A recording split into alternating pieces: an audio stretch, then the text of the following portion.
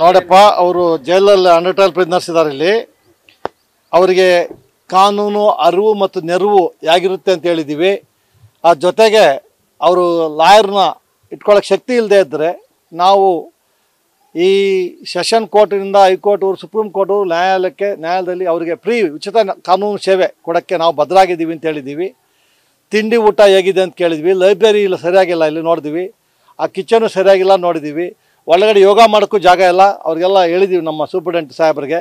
Superintendent ಸಾಹೇಬ್ರಿಲ್ಲ ಈ ಸಾಹೇಬ್ರು ಸುರೇಶ್ ಸಾಹೇಬ್ರು ಇದ್ದಾರೆ. ಏನ್ರಿ ನೀವು? ಹೆಡ್ ವಾರ್ಡ್ ಇದ್ದಾರೆ ಅವ್ರಿಗೆ ಹೇಳಿದ್ದೀವಿ.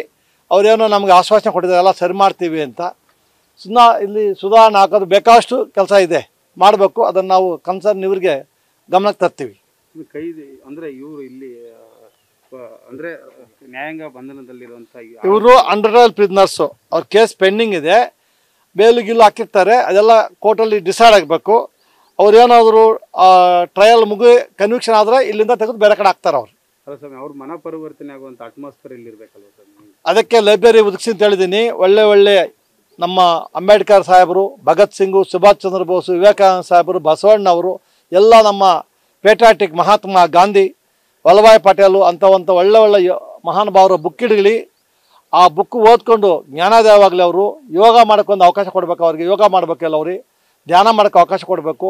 ಇಲ್ಲಿ ಮನಸ್ಸು ಪರಿವರ್ತನೆ ಮಾಡುವಂಥ ಸೃಷ್ಟಿ ಮಾಡುವಂಥ ಕೆಲಸಗಳು ಮಾಡಿ ಅಂತ ಅವ್ರಿಗೆ ಹೇಳಿ ಬಂದಿದ್ದೀನಿ ನಾನು. ಥ್ಯಾಂಕ್ ಯು ನ್ಯೂಸ್ ಫಸ್ಟ್ ಪ್ರತಿಕ್ಷಣ